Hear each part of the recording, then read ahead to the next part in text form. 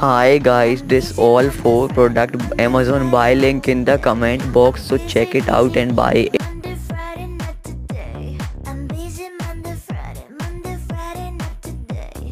busy, busy.